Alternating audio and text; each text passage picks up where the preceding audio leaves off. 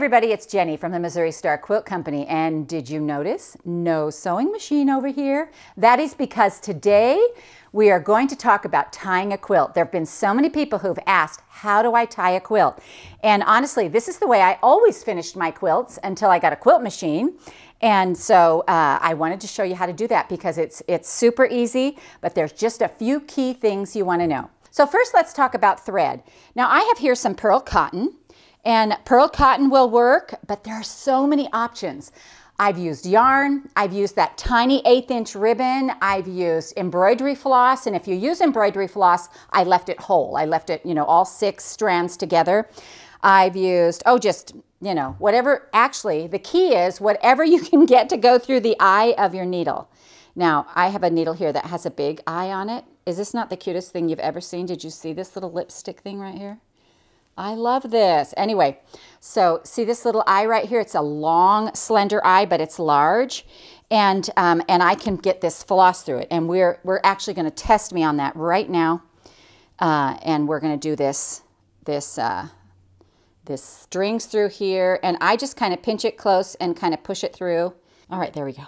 All right. So once it's through the needle, that's the key for being able to tie a quilt. If you can fit it through your needle, and obviously you can get a bigger needle, you know, whatever it is that works. So the key to tying a quilt for me was that I tied a quilt basically like, like I hand quilted it was because I did it row by row like this. And you want to look at your quilt and you want to see if there are um, natural places that you can tie the quilt. If you want your thread to show up, if you want it to be an accent, you're going to use a different color. If you want to hide it, you know, like this one, if you wanted to hide it, you could do it in all the navy squares and it would hide it. The key for um, tying a quilt, the one thing you have to remember is that your stitches should be about a hand width apart. And so you're going to go in here and then you don't have to go in till over here. But you want it to be about a hand width apart. Now my quilt is already put together with its batting and its bind and its backing back here. It's already put together three layers and I'm ready to quilt. Now I would, I often did my hand tying on the floor because I didn't have a big space. Um, and my dining room usually had, my dining room table usually had laundry on it, so I couldn't actually tie a quilt there. So, uh, so a table's great and you can sit, but I often did it on the floor. And I would just start along about here. And what you want to do is you want to make sure that um, you go all the way through. And I'm just going to pull that through, straight through, like this.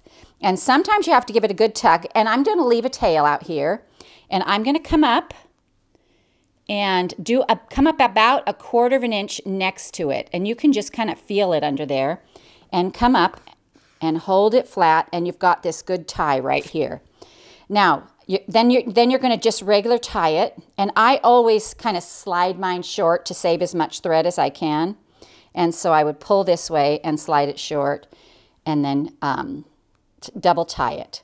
Now, there's a couple of things you can do and do what works best for you. Obviously, there is no you know, there's not really any rules on this. But what I would do is I would then, you know, put my hand and I would come over about this far and I wouldn't cut my thread yet. And I would just go down straight again and make another tie. And then I would cut them all at once. So if you want to cut your thread um, as you go along, you can. It's entirely up to you.